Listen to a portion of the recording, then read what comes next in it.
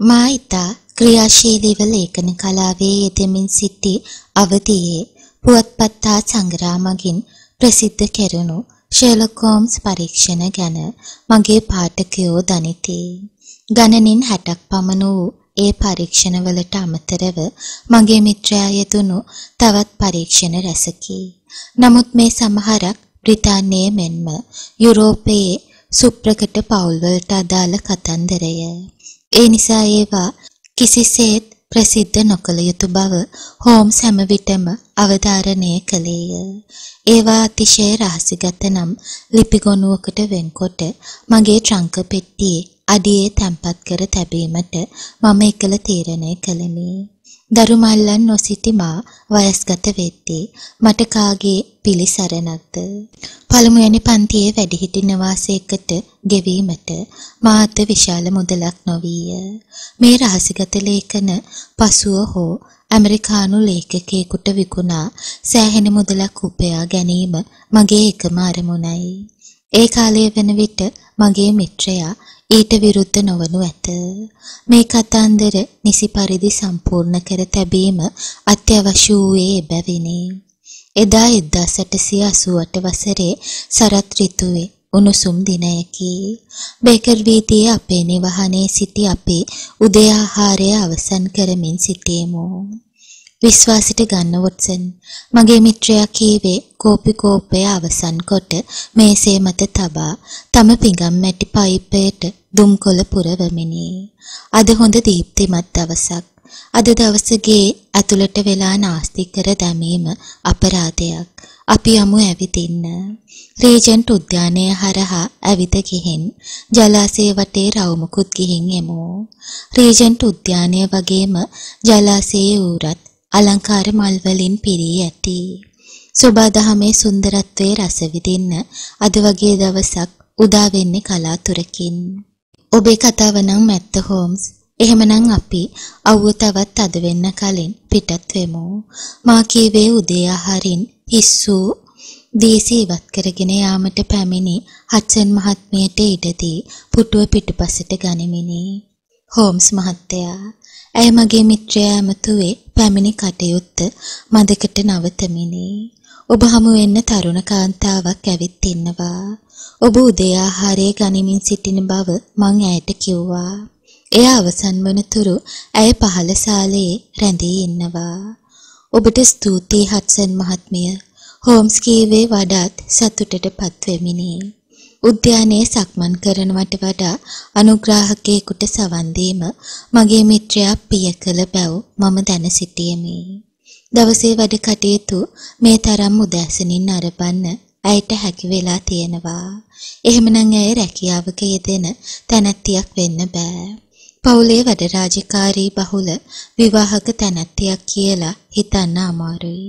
කොහොම වුණත් මම දැන් සූදානම් ඇය හමු වෙන්න. තරුණිය අප හමුවට පැමිණ හෝම්ස්ගේ ඉල්ලීම අනුව අසුන් ගත්තාය. වයසින් අවුරුදු 25 නොඉක්ම වූ ඇය සැරසී සිටියේ චාම් ඇඳුමකිනි. එහෙත් ඇගේ මුහුණ රූමත් එකක් බව මම දුටු වෙමි. ඇගේ අතේ මගුල් මුද්දක් නොතිබුණු නිසා මෙය විවාහය සම්බන්ධ ගැටලුවක් විය නොහැකි යයි මම අනුමාන කළෙමි. මාව හමු වීමට කැමති වීම ගැන ඔබට ස්තුතියි මහත්තයා. ඇය කතාව ආරම්භුවාය. මගේ නම රෙබේකා ක්ලාක්. මං ඔබ හමු වෙන්න ආවේ මගේ මොළයට වද දෙන මහා ගැටලුවක් निराකරණය කරගන්න. සමහර විට ඒක පුදුමාකාර විදිහේ සම්පූර්ණයෙන්ම අහඹු සිදුවීමක් වෙන්න පුළුවන්. කොහොම වුණත් මේ වෙලාවේ මට ඔබේ උපදෙස් අත්‍යවශ්‍යයි. මට කන් දෙන්න කැමති වීමෙන් පෙනෙන්නේ ඔබ ඊටාම කාරුණික කෙනෙකු බව. මං ඒ ගැන හුඟක් කෘතඥ වෙනවා. ඔබට කැමති තරමක් කාලයක් ගත්තට කමක් නෑ. සිදුවුණු හැම දෙයක්ම ඒ අනුපිළිවෙලටම මට කියන්න. හෝම්ස් කීවේ තම හාන්සි පුටුවේ වැතිරී දෙනෙත් අඩවන් කර ගනිමිනි. මහත්තයා මගේ තාත්තා මිය ගිහින් බව මා ඔබට මුලින්ම කිව යුතුයි. ඔහු රැකියාව කළේ මුද්‍රණ යන්ත්‍ර අලුත් වැඩියා කරන්නෙකු ලෙස. පුවත්පත් මුද්‍රණය කරන ආයතනවලට ඔහුගේ සේවය නැතුවම බැරි වුණු බව අම්මා කියනවා මම අහලා තියෙනවා. ඒ නිසා ලොකු මුදලක් උපයා ගත්තත් ඔහු ගෙව්වේ අවිවේකී ජීවිතයක්. තාත්තා හෘදයාබාධයකින් මිය යද්දී මට වයස අවුරුදු 8යි. තාත්තාගේ මරණයෙන් අවුරුදු දෙකකට පස්සේ අම්මා යලිත් විවාහ වුණා. ඒ ජේකබ් බට්ලර් මහත්තයා සමග. ඔහු ඉඩම් සහ ගෙවල් විකුණන බ්‍රෝකර් කෙනෙක්. අප පදිංචි වෙන්නේ බ්‍රක්ස්ටන් වල. අපේ ගෙදරට අල්ලපු ගෙදර මිලට ගත්තේ ෆ්‍රෑන්ක් හැරිස් නම් මහත්තයෙක්. හැරිස් මහත්තයා තම නිවසේ ඉදිරිපස කොටස වෙළඳසලක් බවට හරවා තිබෙනවා. ඔහු අලෙවි කරන්නේ අරුමෝසම් බඩු සහ පෞරාණික බඩු. මීට අමතරව ඔහු ආභරණ උකසිට ගැනීමේ කටයුත්තක් කරනවා. මේ කටයුතු වලින් ඔහු විශාල ධනවතෙකු බවට පත්වී ඇතැයි ඔබ හිතාවේ. නමුත් ඒ බවක් අපට පෙනෙන්නේ නැහැ. ඔහු කරන ව්‍යාපාරය ගැන තවත් කතාවක් මට කලකට පෙර අහන්න ලැබුණා. ප්‍රංශයේ සිට එංගලන්තයට බෝට්ටු වලින් හොරෙන් එන වයින් සහ දුම්කොළ ඔහු හොර රහසේ බෙදා හරින බවටයි ඒ ආරංචිය. ඒ සඳහා කටයුතු වලට ඔහු ප්‍රංශයටත් ඕලන්දයටත් නිතර සංචාරය කරාලු. කොහොමුණත් ඔහු විවාහ කරගත්තේ ප්‍රංශ ජාතික තරුණියක්. විවාහයට පෙර ඇගේ නම එමලි ඩුබොයි. අය ප්‍රංශයේ වයින් අලෙවි කරන ආයතනයක රැකියාව කර තිබෙනවා. ඒ නිසා ඇයට ඉතා හොඳින් ඉංග්‍රීසි භාෂාව කතා කරන්න හැකියාව තිබුණා. විවාහ වී එංගලන්තයට පැමිණි පසු ඇය මගේ මිතුරියක බවට පත් වුණා. රූමතියක් නොවුනත් ඇය ප්‍රියමනාප තැනැත්තියක්. මදක් තරබාරු සිරුරක් තිබුණත් බරපතල රෝගවලින් පෙළෙන බවක් ඇය මට කවදාවත් කියලා නෑ. ඇගේ සැමියා වන හැරිසන් මහත්තයා සහ මගේ බාප්පා වන බට්ලර් මහත්තයා ගජ මිතුරන්. ඔවුන් දෙදෙනා මත්පැන් පානය සඳහා අවන්හල් වලට එකට යන බව මා දන්නවා. මාසෙකට පමණ කලින් හරිම කනගාටුදායක සිදුවීමක් වුණා. එමලි හැරිසන් මහත්මිය හෘදයාබාධයකින් හදිස්සියෙම මිය ගියා. ඇගේ සැමියා විවාහ වුණු පසු ව්‍යාපාරික කටයුතු සඳහා දින ගණන් සංචාරවල යෙදෙන්නේ නැහැ. ඒ බව මට කිව්වෙත් එමලි. නමුත් ඇය මිය ගිය දවසේ ඔහු දින කීපයක් බහැරක ගිහින් ඉඳලයි ආපහු ආවේ. ඔවුන්ට දරුවන් හෝ සේවක සේවිකාවන් කිසිවෙකු නැහැ.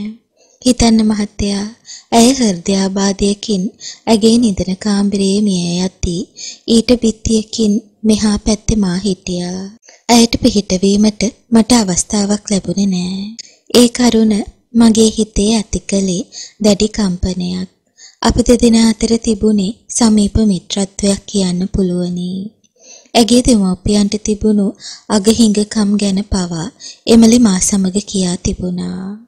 ඇය ඔබේ ගමේ හෝ ලන්ඩනයේ වෛද්‍යවරයෙකුගෙන් කුමන හෝ රෝගයකට ප්‍රතිකාර ලැබුවද හෝම්ස් විමසීය. ඇය ඒ බවක් කිසිවිටකත් මා සමග කියා නෑ.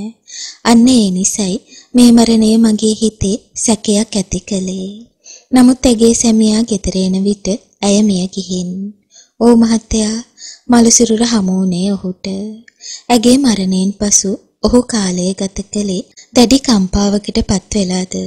හෝම්ස් විමසීය. මං ඔබට කියන්න සූදානම් වුණේ අන්නේ කාරණය තමා. ක්ලාක් මෙනවිය කීවාය. ඔහු කනගාටුවෙන් කාලය ගත කරන්න ඇති දින දෙකක් නැත්තම් තුනක්. ඊට පසු ඔහුගේ ස්වභාවය වෙනස් වුණා. ඔහු වෙනදාටත් වඩා අපේ නිවසට යන්න එන්න පටන් ගත්තා. ඒ මගේ බාප්පා හමු වීමට විහිළු තහරු කරමින් සිනාසෙමින් ඔහු කාලය ගත කළේ සතුටින්. ඒ බව අපේ ගෙදර සේවිකාවට පවා පෙනුණා. ඊට පස්සේ තමයි කී ක්ලාක් මෙනවිය මදක් නිහඬ වූවාය. ඇයි ඊට පස්සේ මොකක්ද සිදු වුනේ? අප දෙදෙනාම විමසුවෙමු. මම කියන්න හැදුවේ හැරිසන් මහත්තයා මා සමග කුළුපඟ වෙන්න උත්සාහ කළා. ඔහු මා වෙත අවධානය යොමු කරන්න පටන් ගත්තා.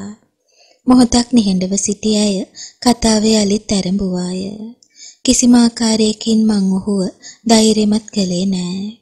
ඔහුගේ බිරිඳ මගේ ළඟ මිතුරියෙකු බව ඇත්තයි. නමුත් මේ මිනිහා ගැන මගේ හිතේ කිසිම ආකාරයක කැමැත්තක් හෝ පැහැදීමක් ඇති කරගන්න මට හැකි වුණේ නෑ. මගේ හිතේ ඔහු ගැන තිබුණේ පිළිකුලක් කිව්වොත් නිවැරදි. අන්තිමේදී ඔහු හිත ධෛර්යමත් කරගන්න ඇති. ඔහු මට ආදරය ප්‍රකාශ කරලා විවාහ යෝජනාවක් කළා. මේ පුද්ගලයා සමග විවාහ වෙන්න ඒ ගැන හිතද්දිත් මගේ ඇඟ කිලිපොලා ගියා. ඔබ මොකද කළේ? මම කලබල වුණේ නෑ. ඇයි කීවාය. ඔහුගේ යෝජනාව ගැන මගේ ස්තුතිය ප්‍රකාශ කළා. ඊළඟට මං ඒක ප්‍රතික්ෂේප කරන බව ඔහුට කිව්වා. ඒ ඔහුගේ හිත නොරිදෙන ආකාරයට තමන් මේ යෝජනාව ගැන ඉක්මන් වුණා වැඩි කිව් ඔහු තවදුරටත් මේ ගැන කල්පනා කරන මෙන් මගෙන් ඉල්ලා හිටියා. ඒ ගැන ඔබේ බාප්පා මොකද කිව්වේ? ඒ යෝජනාව මම ප්‍රතික්ෂේප කළ බව ඇහුවාම බාප්පා බොහොම කෝපයටපත් වුණා. ඇයි කීවාය?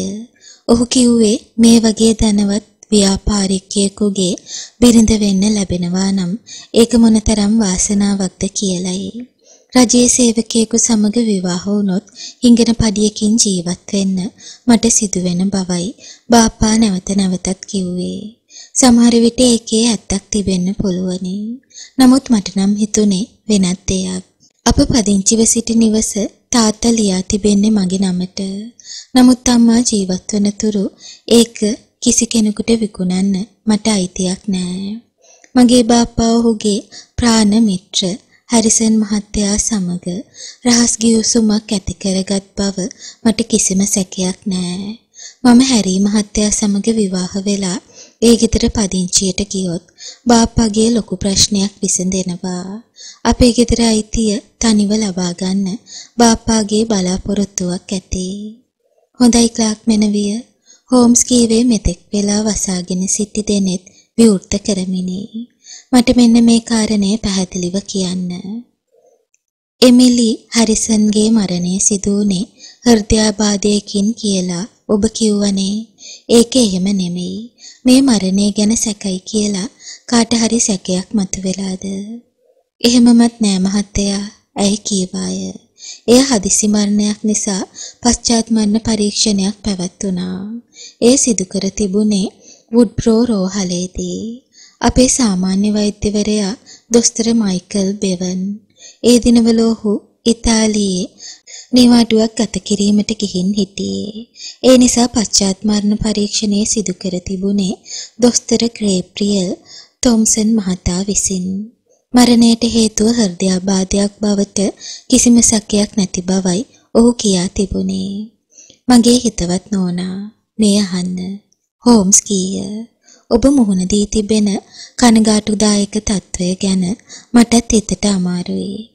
නමුත් මන් රහස් පරීක්ෂකයෙකු පමණයි. ඔබ ওই ප්‍රශ්නෙන් ගලවා ගන්න මට කළ හැකි දෙයක් නෑ. ඔහු මැදිවියේ කෙනෙකු වුණත් ඔබ වැනි තරුණ කාන්තාවක වෙත ඔහුගේ හිත ඇදී යාමේ පුදුමයක් නෑ. විශේෂයෙන්ම ඔහු දැන් කනවැන්දුම් අයෙකු නිසා. කොහොම වුණත් ඔහුව ප්‍රතික්ෂේප කිරීමට ඔබට අයිතියක් තියෙනවා. ඒ වුණත් මං කියන දේ තහන්න හෝම්ස් මහත්තයා. ඊටාම පුදුමාකාර ඒ වගේම ඊටාම අසාමාන්‍ය සිදුවීමකටත් මම මුහුණ දුන්නා. ඒක හඹු සිදුවීමක් බව ඇත්තයි. මේක සිදු වුණේ එමලි මිය යන්න සතියකට කලින්. එක දවසක් දවල් කෑම පහුවෙලා පැයකට විතර පස්සේ මම ගෙදරින් එළියට බැස්සා. මට දකින්න ලැබුණේ සේදු ඇඳුම් කට්ටලයක් එමලි රෙදිවැලේ වැනූ හැටි. ඒක පිරිමියෙකුගේ කලිසමක්, කබායක් සහ කමිසයක්. ඒ අලු පාට ඇඳුම් මලගෙදරකට ඇඳගෙන යාමට සුදුසු ඒවා. එම ඇඳුම් සෝදා පිරිසිදු කොට මැද තබන්න කියා ඇගේ සැමියා කිව්වලු. අපේ කතා බහ කෙරුණේ අපේ ඉඩම් දෙක වෙන් කිරීමට තිබෙන කෙටි තාප්පය උඩින්. ඊළඟට මට ඒ ඇඳුම් කට්ටලේ දකින්න ලැබුණේ සතියකට පසු ඇගේ සැමියා එය හැඳගෙන සිටියදී. ඔහු එමිලිගේ අවමගුල සඳහා බ්‍රික්ස්ටන් සුසාන භූමියට ඇවිත් හිටියේ ඒ ඇඳුමෙන් සැරසිලා. දෙවියනේ ඇය ඒ සූදානම් කරලා තිබුණේ ඇගේ අවමගුලට ඇඳුම්. ඒක සම්පූර්ණයෙන්ම අහඹු සිදුවීමක් වෙන්න පුළුවනි. හෝම්ස් කීය. ඒ වුණත් ක්ලාක් මෙනවිය මම තීරණය කළා ඔබේ ගැටලුව විසඳීමට බාර ගන්න. මේකේ අසාමාන්‍ය ලක්ෂණ තිබෙනවා කියන කරුණත් අපට බැහැර කරන්න බෑ. මං මගේ මිත්‍රයා එක්ක රීජන්ට් උද්‍යානයට ඇවිත් යන්නයි සූදානම් වුණේ. එහෙමනම් අපි එන්නම් ඔබ සමග. වොට්සන් ලොකු කුලීරියක් නවත්තා ගන්න කියලා හඩ්සන් මහත්මියට කියන්න. නැහැ හෝම්ස් මහත්තයා තරුණිය කීවාය. ඔබ දෙදෙනා නාදුන නාය නිසා මං එහෙම යන එක හොඳ නෑ. මේ ලන්ඩන් නගරයේ මැද්දේ වගේ නෙමෙයි. අපි පදිංචි හරියේ ගෑනු බලාගෙන ඉන්නේ මොකක් හරි කටකතාවක් හදන්න. මං තනිවම පිටත් වෙන්නම්. අපි බ්‍රික්ස්ටන් වල අවන්හලක හමු වෙමු. නගරයේ මහවීදියේ තැපැල් කාර්යාලය අසලම තියෙනවා රොබින්සන් අවන්හල. ඔබ එනතුරු මං එතන රැඳී ඉන්නම්. නමුත් අපට උවමනා කරන්නේ ඔබේ සහ හැරිසන් මහත්තයාගේ නිවාස බලා ගැනීමට. හෝම්ස් කීය. ඊළඟට ඔහු හමු වීමටත් මම බලාපොරොත්තු වෙනවා. අද ඔබේ බාප්පා ගෙදර ඉන්නවද? අද බාප්පා ගෙදර නැහැ. ඔහු ව්‍යාපාරික කටයුත්තක් සඳහා බැහැර ගිහින්. ඒ නිසා ඔබට අපේ නිවස තුලට එන්න කියා ඇරයුම් කිරීමටත් අපහසුයි මහත්තයා. ඒ ගැන මට සමා වෙන්න. මට ඒක තේරුම් ගන්න පුළුවනි. හෝම්ස් කීය. මට කියන්න ඔබේ නිවසේ අංකය. අංක 340 මහවේදිය. එතකොට හැරිස් මහතාගේ නිවස අංක 342. හරි ඔබ අවන්හලේ රැඳී ඉන්න උවමනා නැහැ. කෙලින්ම ගෙදර යන්න. හෝම්ස් කීය. මට ඔබෙන් විමසිය යුතු තවත් කාරණා කීපයක් තියෙන්න පුළුවනි. ඒවා මට ඉදිරිපත් කරන්න හැකි වෙන්නේ හරිසන් මහත්තයා සහ වෛද්‍ය තොම්සන් හමු වුණාට පස්සේ. ඒ නිසා ඔබ රොබින්සන් අවන්හලට පැමිණිය යුතු වෙලාව මම කොලයක සටහන් කරගෙන ඇවිත් ඔබේ ලියුම් පෙට්ටියට දමන්නම්. ඒ ගැන විමසිල්ලෙන් ඉන්න. ඔබට බොහොම ස්තුතියි හෝම්ස් මහත්තයා. කිව් තරුණිය අපෙන් සමුගෙන පිට වී ගියාය. අපි තවත් පැය භාගයකට පමණ පසු පිටත් වී ගියෙමු. කුලීරියක නැගී අපි බ්‍රික්ස්ටන් වෙත ගියෙමු. මහවීදියේ අංක 342 දරන ස්ථානය සොයා ගැනීම අපහසු වූයේ නැත. ෆ්‍රෑන්ක් හැරිසන් පෞරාණික බඩු හා අරුමෝසන් බඩු අලෙවිසල ආභරණ උකසට ගැනීමද කරනු ලැබේ. යනුවෙන් සඳහන් කර තිබූ දැන්වීම් පුවරුව අපි ඈත සිටම දුටුවෙමු. අපි මුලින්ම හැරිස් හමු වෙලා බලමු. හෝම්ස් කීය. විවෘතව තිබූ දොරෙන් අපි ඇතුළු වූයෙමු. එය අඳුරු අවලක්ෂණ තැනක් විය. නිතර පිරිසිදු නොකිරීම නිසාද එහි දුකඳක්ද පැවතුණි. බාල වර්ගයේ බිත්ති ඔරලෝසු කීපයක් බිත්තිවල එල්ලා තිබූ අතර විදේශ රටවල් වලින් ආ අරුමෝසන් බඩු රාක්ක මත තබා තිබුණි. මිල අධික ගණයට අයත් නොවන මණික් කැල්ලූ ආභරණ වීදුළු අල්මාරියක ප්‍රදර්ශනයට තබා තිබූ සැටි මම දුටු වෙමි. හොඳින් හැඳ පැළඳගත් මහත්තුරු දෙදෙනෙකු ඔහුගේ සාප්පුවට පිවිසෙන අයුරු එහි හිමිකරු දකින්නට ඇත. සිනාවක් මුවට නගාගත් ඔහු ඉදිරියට ආවේ දෑත් පිරිමදිමිනි. සුබ උදෑසනක් මහත්තුරුනි ඔහු කීවේ ප්‍රසන්න හඬකිනි. ඔබ වෙනුවෙන් මොනවද මට කරන්න පුළුවන්? මම පෞරාණික බඩු එකතු කරන්නේ. හෝම්ස් කීවේ සැහැල්ලු අයුරෙනි. අපි මේ ළඟින් ඇවිදගෙන ගියා. එතකොටයි අපි ඔබේ සාප්පුව දුටුවේ. මගේ හිතට අල්ලන මොනවා හරි තියේවිද බලන්නයි මන් නිකන් ගොඩ උනේ. මමත් පෞරාණික බඩු එකතු කරන කෙනෙක් මහත්තයා. හැරිස් කීය. එහෙම කෙනෙකුට උදව් කරන්න මාත් හරි කැමතියි. පෞරාණික බඩු ඉතා විශාල ප්‍රමාණයක් අප ළඟ නැති බව ඇත්තයි.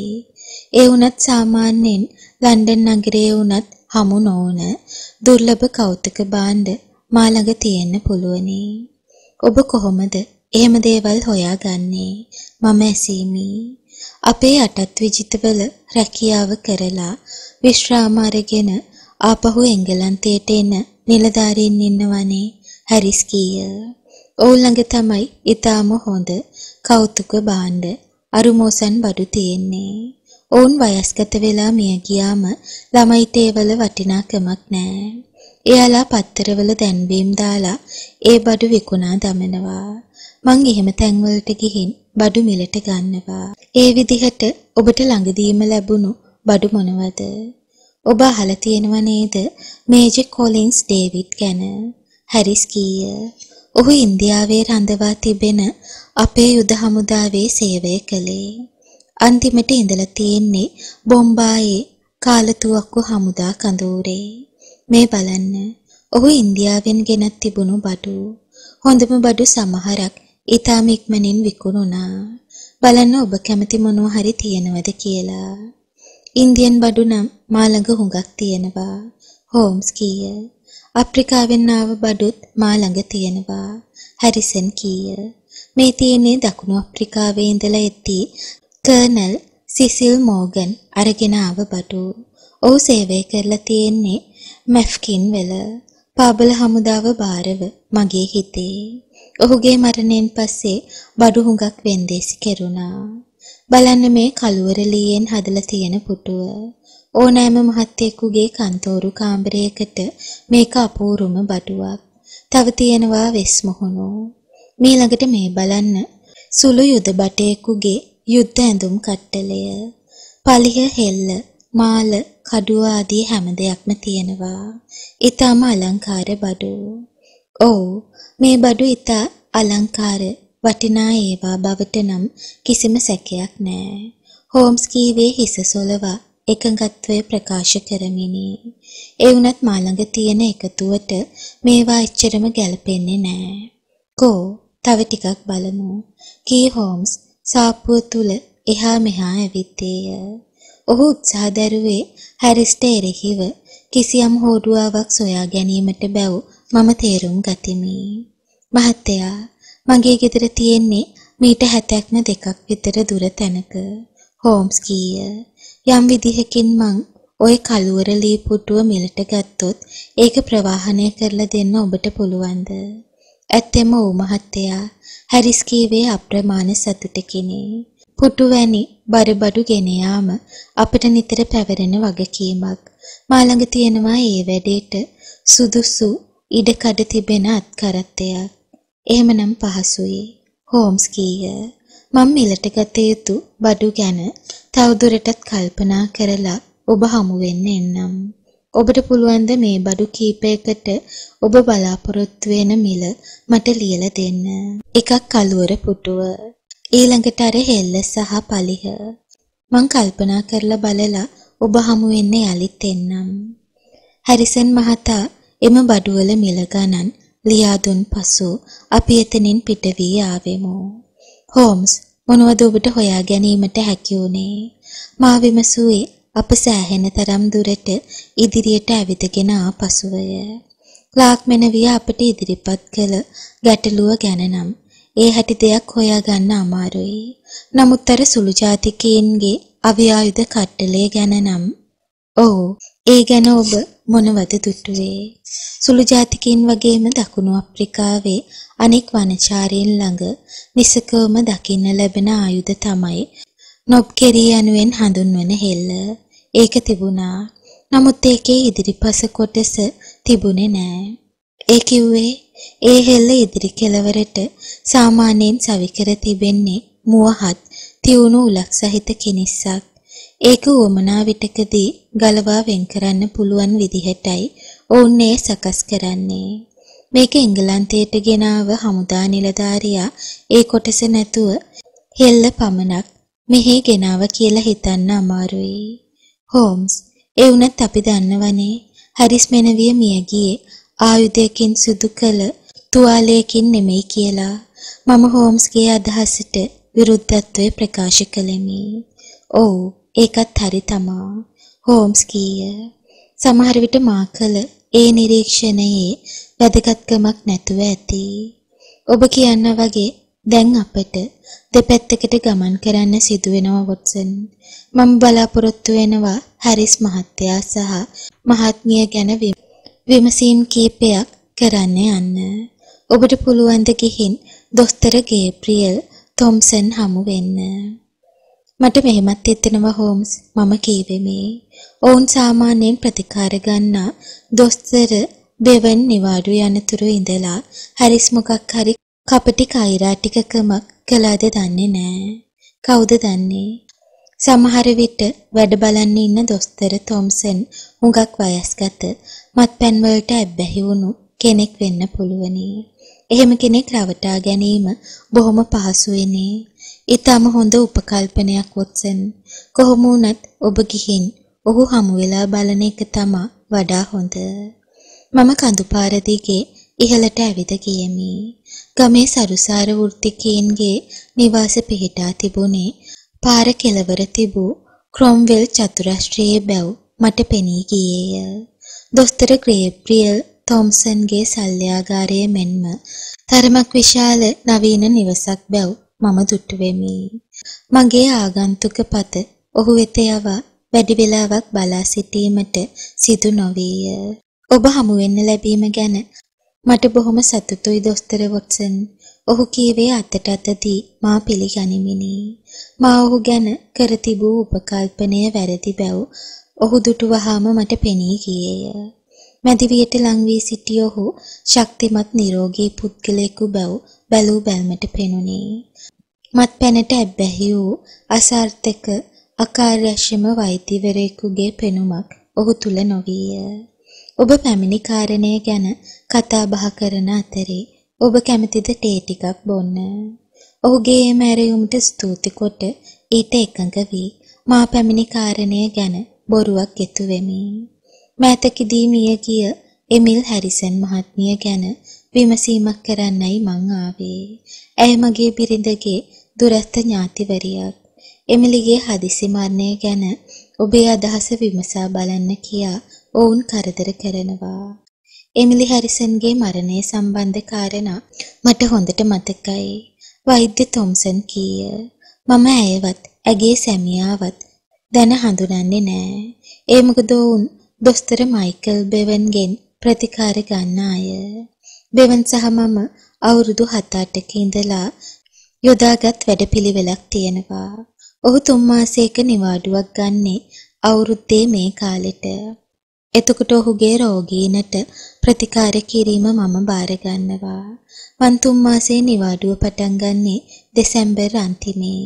ඒ කාලයට මගේ රෝගීන්ව බෙවන් බාර ගන්නවා. ඔවුන්ගේ කැඳවීම අනුව මම ගිහින් බලනකොට හැරිස් මහත්මිය මිය ගිහින් දින කිහිපයක් ගත වෙලා. අවාසනාවකට වගේ ඇගේ සැමියා ඒ දිනවල ගෙදරින් බැහැර ගිහින් ඉඳලා තියෙන්නේ. ගෙදර ආවම දකින්න ලැබුණු දෙයින් ඒ අසරණයා දැඩි කම්පාවකට පත් වෙලා හිටියා. මම ඇගේ මරණය සහතික කරලා පශ්චාත් මරණ පරීක්ෂණයක් සඳහා මල සිරුර බික්ස්ටන් මධ්‍යම රෝහලට ගෙන යන්න නියම කළා. එය සිදු කළේ දොස්තර ජෝර්ජ් ක්‍රීසි සහ මම. මරණය ගැන අපට කිසිම සැකයක් ඇති වුණේ නෑ. දිගු කාලයක සිට ඇගේ හදවතේ තදබල ආබාධයක් තිබිලා තියෙනවා.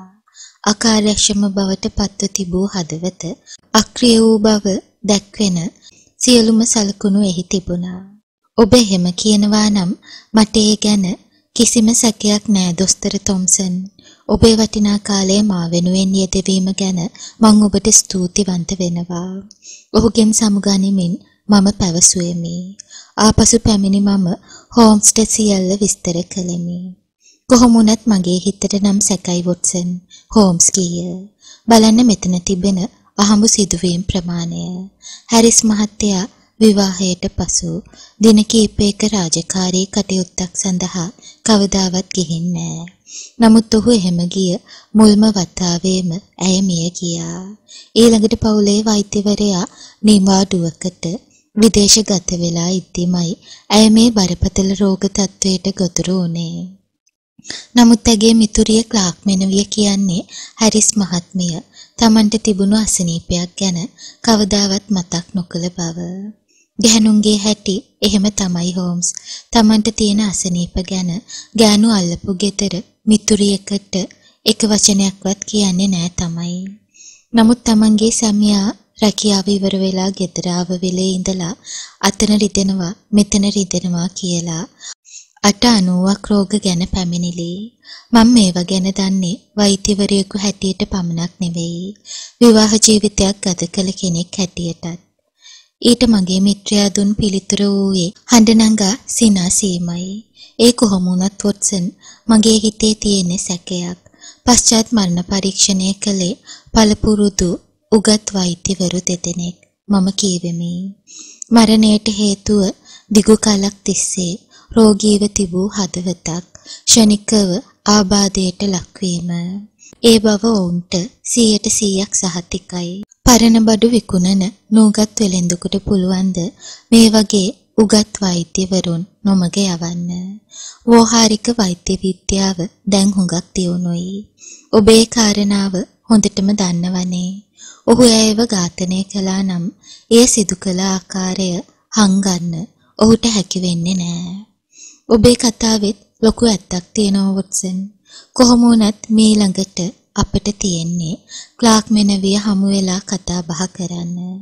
ඒ ගැන මතක් කරලා අපි ඇගේ ගෙදර ලියුම් පෙට්ටියට ලියුම් කැබැල්ලක් දාමු.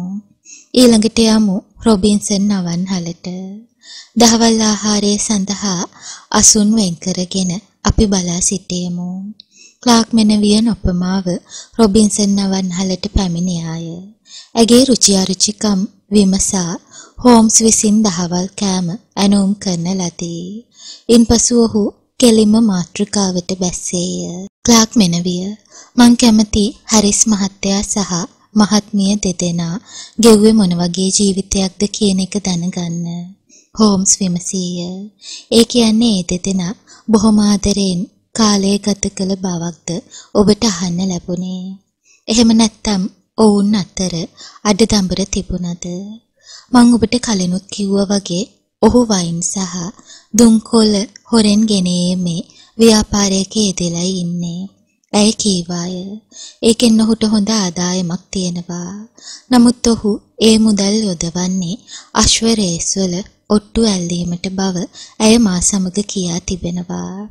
මගේ බාප්පත් රේස්කාරයෙක්. දෙදෙනා අතර මිත්‍රත්වය දැඩි වී තිබෙන්නේ ඒ නිසා. ප්‍රංශ ජාතික අය අපිට වඩා ලස්සනට ඇඳීමට කැමති අය බව ඔබ දන්නවනේ. ඇයත් ඒ වගේ. ඇයට යාමට ඒ තරම් ගමන් බිමන් තිබුණේ නෑ. නමුත් ඇයට අලංකාර වටිනා ඇඳුම් පැළඳුම් නිතර උවමනා වුණා. ඒවාට ප්‍රමාණවත් තරම් මුදල් සැමියාගෙන් නොලැබුණු බව එමිලි මායික නිතර කිව්වා. ඒ සම්බන්ධයෙන් වෙන්න ඇති ඒ දෙදෙනා අතර ඇති වුණු රණ්ඩු සරුවල් මට අහන්න ලැබිලා තියෙනවා. ඇගේ ඇඳුම් මැහීම කළේ කවුද කියලා ඔබට කියලා තියෙනවද? ඇත්තෙම ඔව්. ඒ තමයි මේ පළාතේ ඉන්න හොඳම මැහුම්කාරිය ඩොරිස් කෙන්ට් මහත්මිය. ඇගේ මැහුම් ආයතනයේ තියෙන්නේ මේ පාරෙමයි. මෙතන ඉඳලා යාර 200ක් පමණ දුරින් ශාන්ත ලෝක් දෙව්මැදුර ඉදිරි පිට. මං කැමති තවත් එක කාරණයක් ඔබෙන් දැනගන්න. හෝම්ස් කීය. ඔහු ලීබඩු ප්‍රවාහණයට අත්කරත්තයක් යොදා ගන්නා බව හැරිස් මහත්තයා මට කිව්වා. ඔහු ඒක නවත්වා තියෙන්නේ කොහෙද කියලා ඔබ දන්නවද? ඔව් මහත්තයා අශ්වයින්ට ලාඩම් ගහන සහ සුළු සුළු වෙදකම් කරන විටේකර් නම් කෙනෙක් ඉන්නවා. ඒ අපේ ගෙවල් ළඟින්ම වැටී ඇති හැනෝවර් පටුමගේ. විටේකර්ගේ කම්හල් බිම හුඟක් ඉඩකඩ තියෙන තැනක්.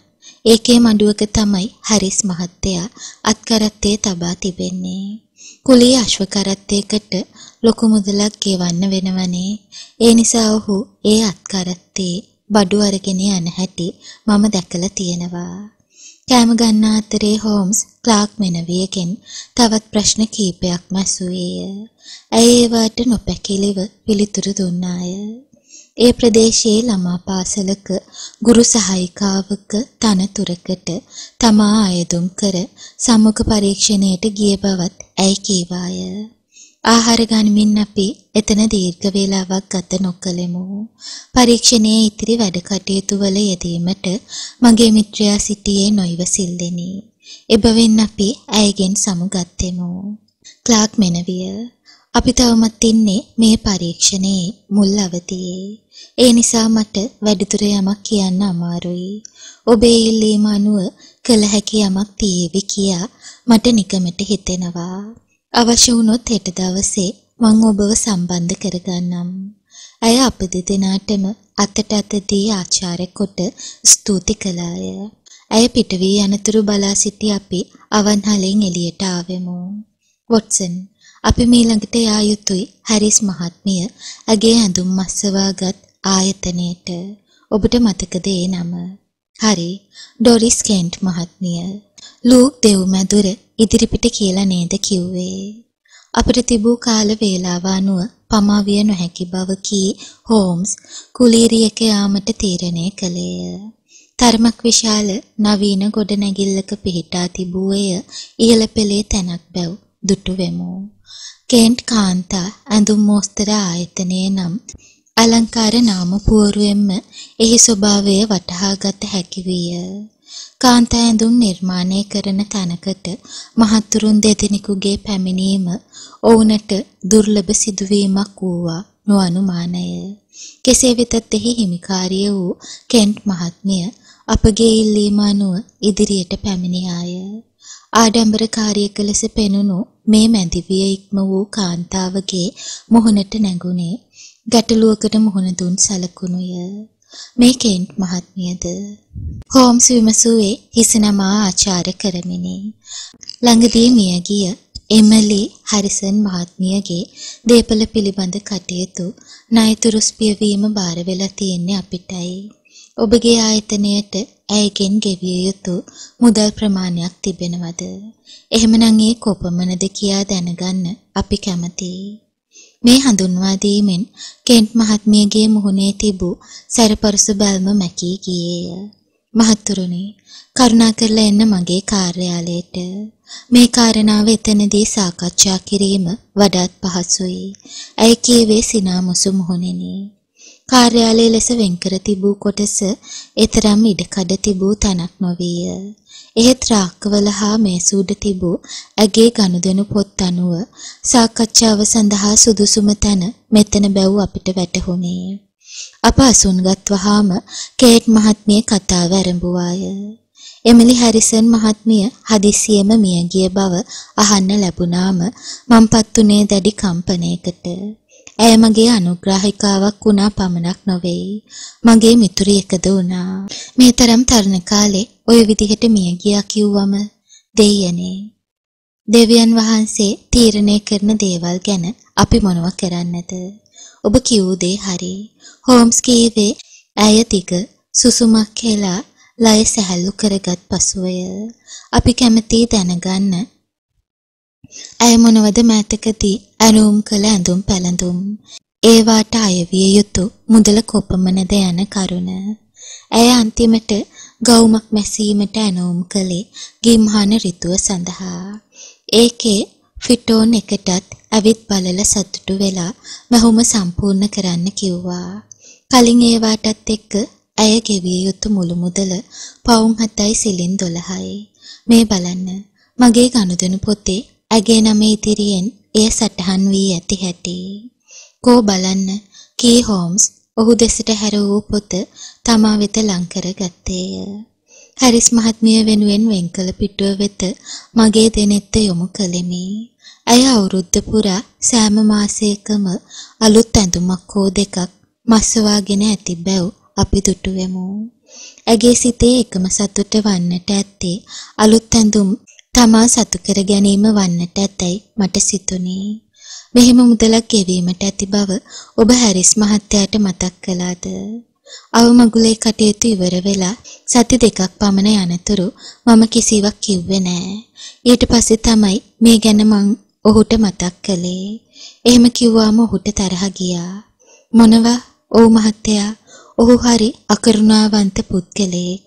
තමන්ගේ බිරිඳ බොහොම තැන්වලට ණය වෙලා ඇති බව ඔහු කිව්වා. මේ ඇනොම් කර තිබෙන්නේ ඔහුගේ අවසරය නැතුව නිසා ණය ගෙවීම ගැන හුඟක් කල්පනා කරලා බලන්න වෙනවා කිව්වා. ඔහු කතා කළේ තමන්ගේ මියගිය බිරිඳට බොහොම අගෞරව වෙන පිළිවෙලට මෙහි තිබෙන කරුණු කීපයක් සටහන් කර ගැනීමට මට සිදුවෙනවා කේන්ට් මහත්මිය හෝම්ස් කීය. ඒ ගැන ඔබේ විරුද්ධත්වයක් නැහැ නේද? මේ ගෙවීම් ඉක්මනින් අවසන් කිරීමට අපි සම්පූර්ණ උත්සාහය යොදනවා. ඔබට ස්තුතියි මහත්තයා. ඇය කීවාය. මීළඟට ඇයගෙන් සමුගෙන අපි පිට වී ආවෙමු. හැරිස් මහත්මිය අගේ ඇඳුම් පැළඳුම් වලට අධික ලෙස වියහියදම් කරලා වගේ. එහෙම නේද හෝම්ස්? මා ඇසුවේ අප මහා මාර්ගයට පිවිසි පසුවය. ඒ වගේ තමයි පෙනෙන්නේ. කොහොමුණත් අපි ගිහින් ඇයවත් දැකගත්තොත් තමයි මේ විමසීම් සම්පූර්ණ වෙන්නේ. මගේ මිත්‍රයා කීවේ මා මවිතයට පත් කරමිනි. අපි යමු සොහොන් බිමට. දෙව්මැදුරට අයත් සොහොන් බිම සුපුරුදු ලෙස ගේට්ටුවකින් වසා තිබුණි. අපි සොහොන් පල්ලාගෙන් විමසා බැලුවෙමු. හැරිස් මහත්මිය මිහිදන් කරනු ලැබුවේ සොහොන් බිමේ ඈත කෙළවරේ බැව් ඔහු පැවසීය. මීළඟට අප සමග පැමිණි ඔහු එතන පෙන්වා දුන්නේය. සිමෙන්තියෙන් නිදි කළ පලකයක් මත තොරතුරු සටහන්ව තිබුණේ. ඇය උපන් හා මියගිය දිනයන් සමග සුපුරුදු ලෙස දේවධර්ම පාඨයක් එහි විය. සොහොන පෙන්වා දුන් එහි බාරකරු අපේහි සිටියදී ආපසු ගියේය. සටහන් පොත අතටගත් හෝම්ස් පලකේ වූ කරුණු සටහන් කරගත්තේය. දැන් ඉතින් ආපහු බේකර් වීදියට යමු වොට්සන්. මේක පයිප්ප දෙකක් හෝ තුනක් බොමින් කල්පනා කළ යුතු ගැටලුවක්. අපේ නිවහනට පැමිණි පසු ඔහු කළේ පයිප්පයද දල්වාගෙන තම සුව පහසු හාන්සි පුටුවේ දිගා වීමය. ආපසු නිවසට පැමිණි පසු මම සීනුව නාද කොට තේ අනුම් කළෙමි. හෝම්ස් මට පෙනෙන්නේ මෙහෙමයි. ඔබේ උපකල්පනය අනුව ඔබ හිතන්නේ හැරිස් මිනී මැරුමක් කරලා කියලානේ. නමුත් ඔහු ඒක කරලා තියෙන්නේ කාටවත් අල්ලගන්න බැරි වෙන විදිහට. ඔහුට විරුද්ධව නඩු පවරන්න බැරි බවට මම කියන දේ නිවැරදිද? තම පයිප්පයට දුම්කොළ පුරවාගෙන හෝම්ස් කල්පනා කරමින් සිටියේ නොනවත්වා දුම්ගුලි පිට කරමිනි. මගේ ප්‍රශ්නයට එක්වරම ඔහුගෙන් පිළිතුරක් නොලැබුණි. මේක හැම අතටම පැටළුණු මහා ගැටලුවක්. නමුත් ඒ අවුල ලිහා ගන්න පුළුවන් ක්‍රමයකුත් තියෙන්න ඕන. දවසේ වැඩ කටයුතු වලින් විඩාවටපත් වී සිටි මම තේ කෝප දෙකක්ම පානය කළෙමි. එහෙත් තේ පෝච්චිය දෙසවත් නොබැලූ මගේ මිත්‍රයා එක දිගට පැයක පමණ කාලයක් නිහඬව කල්පනා කළේය. අන්තිමේදී ඔහු මා ඇමතුවේය.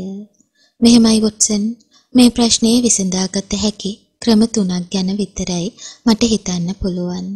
හෙට අපිට පුළුවනි එයින් එකක් අත්හදා බලන්න. ඔබ එනවද මා සමග යන්න?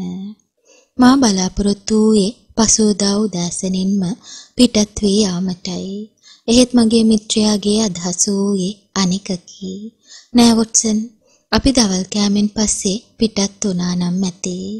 මට කරන්න තියෙන සමහර පරීක්ෂණ සඳහා වඩාත් යෝග්‍ය වෙන්නේ දීප්තිමත් ඉරු එළිය නෙමෙයි මඳ අඳුර. එදා අපරභාගයේ අපි කුලීරියක නැගී බ්‍රික්ස්ටන් වෙත ගියමු. එහි මහමඟ අසල වූ තරමක් ලොකු ගොඩනැගිල්ලක් ඔහු පෙන්වා සිටියේය. බ්‍රික්ස්ටන්හි විද්‍යාත්මක හා සංස්කෘතික ආයතනය ඔහු කීය. ගිය අවුරුද්දේ ඔවුන් මාව කැඳෙව්වා ඔවුන්ගේ වාර්ෂික විද්‍යාත්මක දේශනයට. අපරාධ පරීක්ෂණයේදී යොදාගත යුතු නිරීක්ෂණ හා උපකල්පනය යන මාතෘකාවෙනුයි මං ඒ දේශනය කළේ. මං හිතන්නේ ඔවුන්ගේ පුස්තකාලය හා කියවීම් ශාලාව පරිහරණය කරන්න ඔවුන්ගෙන් මට අවසර ලැබේවි. හෝම්ස්ට අවශ්‍ය වී තිබුණේ කිසිවෙකු හවුල් නොකරගෙන තම පරීක්ෂණය නිහඬව කිරීමටයි. එහෙත් ඔහු දුටු විගස ආයතනයේ ලේකම්වරයා කතා කළේ දැඩි උද්‍යෝගයකිනි. ඔබ දකින්න ලැබීමත් ලොකු සතුටක් හෝම්ස් මහත්තයා. ඔබ වගේ කෙනෙකුට අපේ සම්පූර්ණ සහයෝගය දෙන්න අපි ඕනෑම වෙලාවක සූදානම්. මේ පැත්තෙන් එන්න. ඔහු අප කැඳවාගෙන ගියේ ගොඩනැගිල්ලේ පිටුපස කොටසේ වූ පුස්තකාලය වෙතයි. හෝම්ස් මහත්තයා ඔබ මොකක් හරි අපරාධ පරීක්ෂණයක යෙදෙනවද? ඇත්තෙම ඌ මහත්තයා හෝම්ස් කීය. නමුත් මේ වෙලාවේ ඒ ගැන තොරතුරු නිදහසේ ඔබ සමග කියන්න මට හැකියාවක් නෑ. දැනට මට උවමනා කරන්නේ පසුගිය කාලේ පුවත්පත්වල පළවුණු අවමගුල් දැන්වීම් සෝදිසි කරන්න. අනේ දෙවියනේ, ලේකම්වරයා කීය. එහෙමනම් ඔබ හොයන්නේ මිනී මැරුමක් ගැන වෙන්න ඇති. එහෙම වෙන්නත් පුළුවනි, නොවෙන්නත් පුළුවනි. හෝම්ස් පිළිතුරු දුන්නේය. දැනට මම මේ කරන්නේ සමීක්ෂණයක් කියන්න පුළුවනි. මට තේරෙනවා මට තේරෙනවා මෙන්න මෙතන තියෙනවා ටයිම්ස් පුවත්පතේ පසුගිය කලාප. ඔබට පුළුවන් අවුරුදු ගණනක් ආපස්සට වුණත් ගිහින් බලන්න. ඔහු පැවසුවේ ආරක්ෂිත ලෙස බැඳ තිබූ පුවත්පත් රාක්ක පෙන්වමිනි. මෑත කාලේ පුවත්පත්වල වෙලුම් අතටගත් මගේ මිත්‍රයා එය පෙරලා බැලීමට පටන් ගත්තේ අසුනක හිඳ ගනිමිනි. ලේකම්වරයා එතනින් ඉවත්ව නොගොස් ඒ ඇසල රැඳී සිටියේය. ඒ මගේ මිත්‍රයාගේ අපරාධ පරීක්ෂණය ගැන ආරංචියක් ලබා ගැනීමේ අරමුණෙන් විය යුතුය. පුවත්පත් සෝදිසිය Tamante නිදහසේ කර ගැනීමට ඊට දෙන මෙන් හෝම්ස් ඉල්ලා සිටියේ නැත. ඔහු ඒ වෙනුවට කළේ ලේකම්වරයා සාමාන්‍ය කතා බහකට අල්ලා ගැනීමයි. පර්ණ පත්තරවල අවමගුල් දැන්වීම් පිටු පෙරලා බලන්න නම් කවුරුවත්ම එන්නේ නැතුව ඇති මම හිතන්නේ. ඒ තරම් පිරිසක් එන්නේ නැති බව ඇත්තයි මහත්තයා. ඒ වුණත් නොවරදවාම එන කෙනෙක් ඉන්නවා. ඒ තමයි නගරේ වෙළඳසලක් අයිති ෆ්‍රෑන්ක් හැරිසන් මහත්තයා. එයාට අයිති පෞරාණික සහ අරුමෝසන් බඩු වෙළඳසලක් තියෙනවනේ. ඔහු බලාගෙන ඉන්නේ ඒ විදිහේ බඩු අයිති කෙනෙකුගේ අවමගුල් දැන්වීමක් දකින්න. එහෙම එකක් දැක්ක ගමන් වහාම ගිහින් ඒ පවුලේ ඥාතීන් හමු වෙනවා.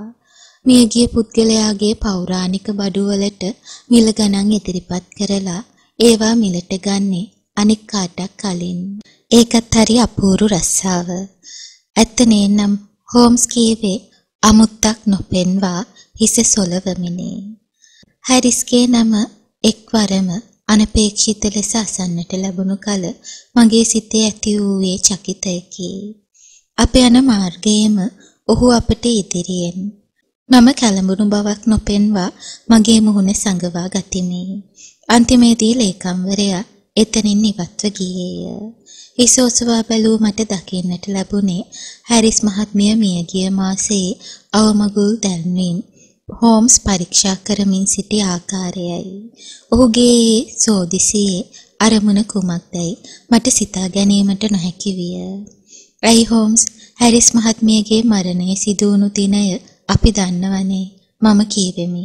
එයාගේ බිරිඳගේ අවමගුල් දැන්වීම ටයිම්ස් වගේ ඉහළ පෙළේ පුවත්පතක පළ කරાવી කියලා හිතන්න අමාරුයි නේද? ඔබ කියන කාරණේ ඇත්ත තමයි වොට්සන්. නෑ මම මේ අවමගුල් දැන්වීම් කියවලා බැලුවේ මේ පළාතේ තවත් කවුරු හරි මිය ගිහින් තියෙනවද කියලා. ඔහුට අරුමෝසන් බඩු මිලට ගන්න පුළුවන් විදිහට කවුරු හරි වයසක කෙනෙක්. ආ මේ ඉන්නේ එඩ්විනා ඈලිෂ් ආර්යාව ශ්‍රීමත් විලියම් ඈලිෂ්ගේ ඥාති දියණිය. හැබැයි එච්චර වයස නෑ. ඇය මිය ගිහින් තියෙන්නේ වයස අවුරුදු 42ේදී. මරණයට හේතුව මේකේ සඳහන් වෙලා නෑ. ඔවුන් පදිංචි මන්දිරයේ තියෙන්නේ බ්‍රික්ස්ටන් කන්දේ. ඔහු කියවමින් සිටි මගුල් තැන්වීම වෙත මගේ අවධානය යොමු කළෙමි. ඇය මිය ගිහින් තියෙන්නේ හැරිස් මහත්මිය මේ යන්න දින කීපයකට කලින් මම හිතන්නේ නෑ මේ ඉහළ පෙළේ පවුල් සමග හැරිස් පවුලේ කිසිම සම්බන්ධකමක් ආශ්‍රයක් තිබුණ කියලා. ශ්‍රීමත් විලියම් ආදිපාදවරු සමගත් ඥාති සම්බන්ධකම් තියන අයනේ. කවුද දන්නේ වොට්සන්? මොකක් හරි සම්බන්ධකමක් තිබෙන්න ඉඩ තියෙනවා. අපි ආපහු සොහොන් පිට්ටනියට යමු. අපි සොහොන් පිටියේ ඉදිරියට ඇවිද ගියමු. හිරු බැස යාමත් සමග ඇඳිරි වැටීම ඉක්මන් වී තිබුණේ. ඈලිෂ් පවුලට අයත් සොහොන් ගැබ ඊතා විශාල එකක් විය. එබැවින් එය සොයා ගැනීමද අපට අපහසු නොවිනි.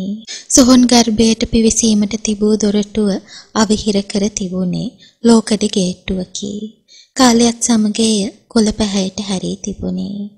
කබාසාක්කුවෙන් තම කාචය ඇතටගත් මගේ මිත්‍රයා පහත් වී එම ගේට්ටුවේ අගුල පරීක්ෂාවට ලක් කළේය. අන්තිමේදී ඔහු කෙලින් සිට ගනිද්දී ඔහුගේ මුහුණේ මතුවූයේ තෘප්තියටපත් ලකුණුය. අගුල වටේටම සීරීම් සලකුණු. මම බලාපොරොත්තු වුණු විදිහමයි. ඒ කියන්නේ සොහොන් ගැබට පිට කෙනෙක් හොරෙන් ඇතුළු වෙලාද? ඒ මොන උවමනාවකටද? ඇලිෂාර්යාවත් හැරිස් මහත්මියත් දෙදෙනාම එකම වයසේ අය. හෝම්ස් කීය. ශරීරයේ පෙනුමෙනුත් සෑහෙන තරම් සමානකමක් ඇති. මේ කපටි මිනිහා හැරිස් මුත ශරීර දෙක මාරු කරලා මලසිරුරු හඳුනා ගැනීම ඇගේ ඥාතියෙකු විසින් අත්‍යවශ්‍යයෙන්ම කළ යුතු කටයුත්තක්. ඒක හදිසි මරණ පරීක්ෂකවරයා කරන නියෝගයක්. නමුත් හැරිස් මහත්මියගේ ඥාතීන් ඉන්නේ ප්‍රංශයේ. ඒ කිසිම කෙනෙකුට දැනුම් දීමක් කෙරුණෙත් නැහැ. ඒ නිසා ඌනට එන්න ලැබුණෙත් නැහැ. ඉතින් මියගිය තැනැත්තියගේ සැමියා තමයි මලසිරුර හඳුනාගෙන මේ එමලි ඩුබොයි හැරිස් මහත්මිය බවට සහතික කළේ. නමුත් පශ්චාත් මරණ පරීක්ෂණය කළේ ඇයට ප්‍රතිකාර කළ වෛද්‍යවරයා වුණා නම් හැම දෙයක්ම හෙළි වෙනවා. ඒ නිසා ඒ සුපුරුදු පවුලේ වෛද්‍යවරයා නිවාඩු යනතුරු හැරිස් බලා හිටියා. පශ්චාත් මරණ පරීක්ෂණය කළේ ඇයට කවදාවත් ප්‍රතිකාර කර නොතිබුණු ගේබ්‍රියල් තොම්සන්. හැබැයි හැරිස් මහත්මියගේ මලසිරුරට ඔහු මොකක් කළාද දන්නේ නෑ. මට නම් හිතෙන්නේ එය ඇත්තේ එඩ්විනා ඇලිෂාර්යාවගේ මිනි පෙට්ටියේ. ඒකට කාරණා දෙකක් තියෙනවා. එකක් අල්ලපු වත්තේ හිටියේ හැරිස් මහත්මියගේ මිතුරිය ක්ලාක් මෙනවිය. තවත් අසල්වාසීනුත් ඉන්නවා. හැරිස් තමන්ගේ වත්තේ පිටුපස ලොකු වලක් හාරලා ඇගේ මලසිරුර වල දැම්ම කියලා හිතමු. ඔහුගේ ඒ කැණීම් වෙත කාගේ හරි අවධානය යොමු වෙන්න ඉඩ තියෙනවා. විශේෂයෙන්ම වෙනත් ගෙදරක උඩුමහලට එය පෙනෙන්න පුළුවනි. අනික මලසිරුරක් සැඟවීමට සොහොන් ගර්භයකට වඩා හොඳ තැනක් කොයින්ද? මේක ෂණික කෝපය නිසා සිදු කළ ඝාතනයක් නෙමෙයි වොට්සන්. ඔහු මෙය සැලසුම් කරන්න ඇත්තේ හුඟ කාලෙක ඉඳලා. පවුලේ වෛද්‍යවරයා ඔහුගේ වාර්ෂික නිවාඩුව ගන්නේ එකම කාලෙක. ඊළඟට මේක ජනාකීර්ණ පළාතක්. එමලි හැරිස්ගේ වයසේම කාන්තාවක් ස්වභාවික හේතුවක් නිසා මරණයට පත්වෙන තුරුයි ඔහු බලාගෙන ඉන්න ඇත්තේ. ඊට පස්සේ බිරිඳ ඝාතනය කරලා ඇගේ මලසිරුර රාත්‍රියේම සොහොන් පිට්ටනිය වෙත ගෙන යනවා. කොහොමද? අත් කරත්තේ පටවලා ඊළඟට ඇෂ්ලි ආර්යාවගේ මිනිය කරත්තෙන් ගෙදර අරගෙන එන්නේ තම බිරිඳගේ මල සිරුර එහි තැන්පත් කරලා මරණය සිදු වුණු දිනය හා වේලාව ගැන යමක් නිශ්චිතව කීම වෛද්‍යවරයාට අපහසු වෙන්න ඔහු රහසේම ගෙදරින් පිට වී ගිහින් ආපහු එන්නේ දින දෙක තුනකින්. එතකොටයි ඔහු කියන්නේ Taman නැති අතරේ බිරිඳ මිය ගොස් ඇති බව. අපි ආපසු හැරෙමු. සොහොන් බිම්මායිමේ වවා තිබූ විලෝ තුරු සෙවනේ කිසිවෙකු අප දෙස බලා සිටියායයි මට සිතුනේ. ඒ ගැන මගේ මිත්‍රයාගේ අවධානය යොමු කිරීමට ඔහුගේ කබාතෙන් නැත එය දෙස බැලීමි. එවිට එතන කිසිවෙකු නොවිය. අඩ අඳුරේ මාදුටු ඡායාව කුමක්ද? සමහර විට ඒ තම ඥාතියෙකුගේ සොහොන වෙත ගෞරවය පුද කිරීමට පැමිණි අයෙකු විය හැක. සොහොන් පිටියේ එක මායිමක් ගෝඩොන් උද්‍යානය හෝම්ස් කීය. බලන්න මේ පැත්තෙන් එන කෙනෙකුට එන්න තවත් ගේට්ටුවක් තියෙනවා. තාර දමපු පාරක් නොමැති නිසා වැඩිය පාවිච්චියට ගන්නෙ නෑ වගේ. ඒ පැත්තේ පොළව වල් පිහි වෙලා. අපි යමු ඒ පැත්තෙන්. ඒ වුණත් වොට්සන් පරිස්සමෙන්. බිම තිබෙන හෝඩුවාවන් උඩින් අදිය තියන්න එපා. මොනවද බිම තියෙන්නේ? මේ අඳුරේ නම් මොකුත්ම දකින්න අමාරුයි. ෂා ලන්තෑරුම අරගෙන එන්න මට මතක් වුණේ නැහනේ. මේ කිට්ටුව මල්ශාලා කීපයක් තියෙනවා. මම කීවෙමි. ඔවුන් ළඟ නම් හොඳ ලන්තෑරුම් ඇති. එකක් ඉල්ලා ගන්න බැරි වෙන එකක් නෑ. වොට්සන් ඔතන ඔහොමම ඉන්න. මම ගිහින් එකක් ඉල්ලාගෙන එන්නම්. මිනිත්තු කිහිපයකින් මගේ මිත්‍රයා එතනට පැමිණියේ ජයග්‍රාහී ලීලාවෙනි. දීප්තිමත් එළියක් විහිදු ලොකු ලන්තෑරුමක් ඔහු අතේ විය. මේ බලන්න වොට්සන් මේ රෝද දෙකක සලකුණු මොනවද ඔබට මේ ගැන කියන්න පුළුවන්? අත් කරත්තේක සලකුණු. හරියට හරි වොට්සන් ඔබට හඳුනා ගන්න පුළුවන්ද කරත්තේ මෙතනට ආව සලකුණු සහ පිට වී ගිය සලකුණු? අන්න හරි. මං ඔබට කලින් ඒක කියලා දීලා තියෙනවා. කරත්තය ඇවිත් තියෙන්නෙත් ලොකු බරක් පටවාගෙන. පිට වී ගිහින් තියෙන්නෙත් ඒ වගේම බරක් පටවාගෙන. රෝද සලකුණු පස තුලට කැපී ඇති ආකාරයෙන් අපට පුළුවන් එක තේරුම් ගන්න. දැන් යමු සොහොන් ගැබ තියෙන තැන කැලෑ රොදට. මෙතන ඔහුගේ පාසලකුණු හුඟක් ගැඹුරට වැදිලා. එක පිට එක කීප වාරයක්ම මොකක්ද ඒකෙන් ඔබ තේරුම් ගත්තේ කළ කටයුත්ත මොකක් වුණත් එය බාන්න සහ පටවන්න ඔහු ලොකු මහන්සියක් දරලා තියෙන බවයි මම හිතන්නේ මම කීවෙමි විශිෂ්ටයි වොට්සන් අන්ධකාර වෙලාවේ මල සිරුරු බාන එක සහ පටවන එක ඔහුට සෑහෙන්න අමාරු වෙන්න ඇති. තම කබා සාක්කුවෙන් ටේප් පටියක් ගත් හෝම්ස් රෝද සලකුණු දෙක අතර දුර ප්‍රමාණය මැන සටහන් කරගත්තේය. ඊට අමතරව එහි තිබූ අඩි සටහන් වල චිත්‍රයක් සහ ප්‍රමාණද සලකුණු කරගත්තේය. දැන් ඉතින් මං කැමති මේ අත්කරත්තේ නවත්තා තිබෙන විටේකර්ගේ වැඩපොළට ගිහින් ඒක පරීක්ෂා කරලා බලන්න. හෝම්ස් කීය. මේ ලන්තෑරුම ආපහු බාර දීලා යමු. හෝම්ස් අපි යන ගමන් ක්ලාක් මෙනවිය හමු වෙලා යමු. ඒ මොකටද?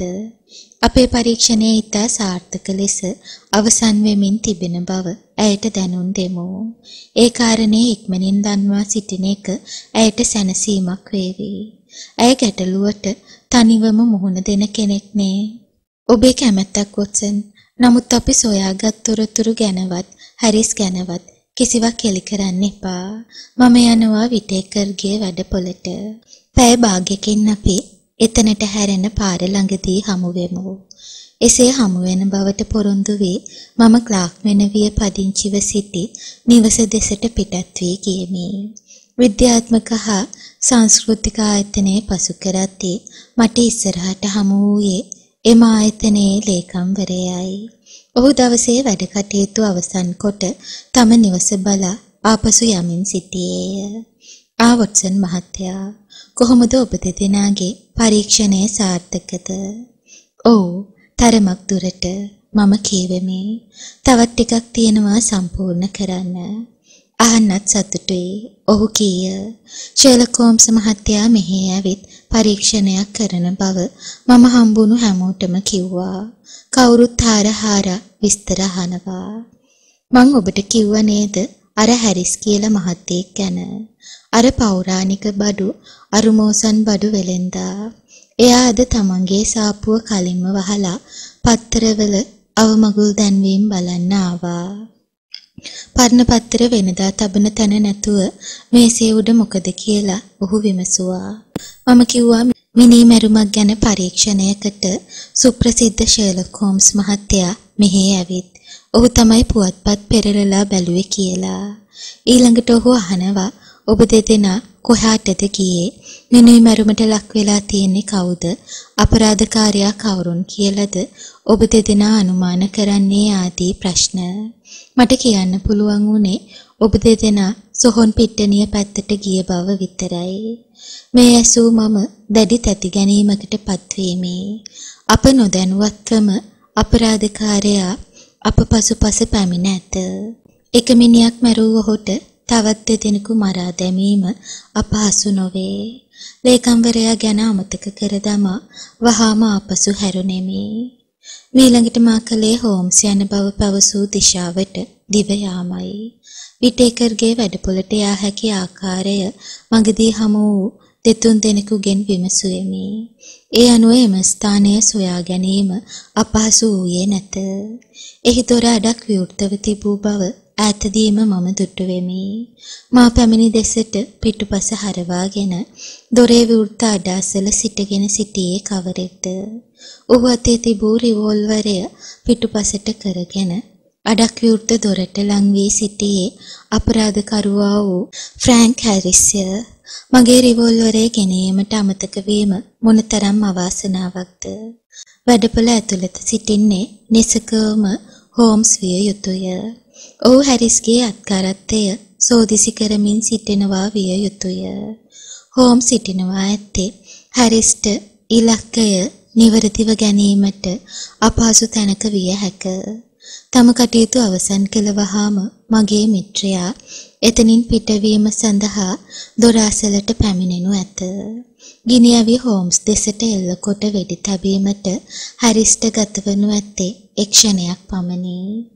මම ශබ්දයක් නොනැගෙනසේ හැරිස් වෙත ලං වීමි. මට කළ හැක්කේ කුමක්ද? මා අතේ තිබූ එකම ආයුධය එක් කෙළවරක් වක්ගැසුණු සැරයටිය පමණි. මම සැරයටිය ඉහළටම එසෙව්වෙමි. මීළඟට මගේ සම්පූර්ණ ශක්තිය යොදා පිස්තෝලය අල්ලාගෙන සිටි හැරිස්ගේ අතට මරු පහරක් එල්ල කළෙමි. ගිනි අවිය බිම වැටි විසිව යද්දී හැරිස්ගේ මුවෙන් මර හඬක් නැගුණේ. මීළඟට මම ඔහු වෙත කඩා පැන්නෙමි. ඒ ඔහු බිම පෙරලා ගැනීමේ අරමුණෙනි. එහෙත් එය සාර්ථක නොවිය. ඔහුගේ එක් අතක් මට හසු වුණද ඔහු අතගසා දමා ඉවතට පැන්නේය. ඔට්සන් අල්ලගන්න ඕකව පැනලා යන්න දෙන්න එපා. හෝම්ස් කෑ ගැසුණු ඇසුනේ. හැරිස් පැනදුවද්දී අපි ඔහු ලුහු බැඳ කියමු. අපට වඩා තරුණ වයසේ සිටි ඔහුට අපෙන් ගැලවී පැන යාම අපහසු නොවිය. මේ කලුවරේ ඔහුව කොහොමටවත් අල්ලගන්න අමාරුයි. මගේ මිත්‍රයා කීවේ හති දමමින් නවතිමිනි. ඔහු මේ පළාතේ පාරවල් සහ සැඟවිය හැකි තැන් හොඳට දන්නව ඇති. ඔහු අල්ලා ගන්නා කොටස පොලිසියට ඉදිරි කරමු. අපිට දැන් තියෙන්නේ මීළඟට කළ යුතු රාජකාරී ගැන අවධානය යොමු කරන්නයි. එමිල් හැරිස් මහත්මියගේ මරණය සැකසහිත බවත් එඩ්විනා ඇෂ්ලි මෙනවියගේ මුත ශරීරය හොරකම් කර ඇතැයි තමා සැක කරන බවත් ෂර්ලොක් හෝම්ස් ස්කොට්ලන්ඩ් යාඩ් පොලිසිය වෙත දන්වා යැව්වේය. ඒ මගින් එම මලසිරුර යළිත් කොට ගැනීමට නියෝගයක් පළාතේ මහේස්ත්‍රාත් මගින් ලබා ගැනීමට පොලිසියට හැකි විය. දින කිහිපයකට පසු එක් සැන්දෑවක බ්‍රික්ස්ටන් සුසාන භූමියේ ඇෂ්ලි පවුලේ සොහොන් ගර්භය ඇසලට කීප දෙනෙක්ම පැමිණ සිටියහ. ඇෂ්ලි පවුල නියෝජනය කරමින් ජෝන් බිෂොප් නම් මහත්තයෙකු හැරිස් පවුලේ වෛද්‍යවරයා වූ දොස්තර මයිකල් බෙවන් සොහොන් බිම භාර නිලධාරියා ලෙස්ට්‍රට් සහ පොලිස් බටයින් තෙදෙනෙකු සමග අපි එක් වූයෙමු. සොහොන් බිම බාර නිලධාරියා තම අත තිබූ යතුරු කැරැල්ලෙන් ඇෂ්ලි පවුලේ සොහොන් ගැබට ඇතුළු වන ගේට්ටුව විවෘත කළේය. කම්කරුවන් සිව් දෙනෙකු විසින් ඇෂ්ලි මෙනවියගේ මිනි පෙට්ටිය ඉවතට ගන්නා ලදී. ප්‍රධානියාගේ නියමයෙන් ඔවුහු එහි සවි කර තිබූ ඇන ගලවා විවෘත කොට පියන පසකින් තැබූහ. එහි තිබුණේ මදක් විරූපී වී ගිය මැදිවියට ලං වූ කාන්තාවකගේ මල සිරුරකි. කවුරුත් එතනට ලං වී net යොමු කළහ. මිනි පෙට්ටිය ඇතුළත සරසා තිබූ සුදු පාට සිල්ක් රෙද්දේ ලේ පැල්ලමක් දක්නට ලැබුණි. පෙට්ටියේ එක් කෙළවරක තිබූ යමක් හෝම් සතට ගත්තේය. ඒ තමයි සුළු යුද්ධ බටයන්ගේ භයානක ආයුධයක එනම් නොබ්කෙරි හෙල්ලේ ඉදිරි කොටස. මේක නොමැතිව ආයුධයේ අනෙක් කොටස අපට හමු වුණා. එක්තරා මහත්තයෙකුගේ නිවසේ තිබිලා. පොලිස් පරීක්ෂක මහත්තයා. දොස්තර බෙවන් කීය. මට පුළුවනි මේ තැනැත්තිය හඳුනා ගන්න. නොයෙක් අසනීප සඳහා මා ඇයට වරින් වර ප්‍රතිකාර කරලා තිබෙනවා. ඇය තමයි බ්‍රික්ස්ටන් මහා වීදියේ එමලි හැරිසන් මහත්මිය. ඔබට ස්තුතියි දොස්තර මහත්තයා කිව් ලෙස්ට්‍රඩ් තම සටහන් පොත අතටගෙන යමක් ලිව්වේය. මීළඟට ඔහුගේ නියෝගය නිකුත් කළේ සොහොන් බිම බාහිර නිලධාරියා වෙතයි. මීළඟට අපේ අවධානය යොමු කරන්නේ හැරිස් මහත්මිය භූමදානය කළා කියන ස්ථානය වෙතයි. ඇගේ සිරුර ගොඩට ගැනීමට මං උසාවියෙන් අවසර ලබා තිබෙනවා. දැන් ඔබට පුළුවනි හැරිස් පවුලේ මිනිවර හාරා ඒ මිනි පෙට්ටිය ගොඩට ගන්න. ඒ මිනි දෙකටම ඉන්වෙස්ට් විභාග යලිත් පවත්වන්න කියලා අපි උසාවියෙන් නියෝගයක් ලබා ගනිමු.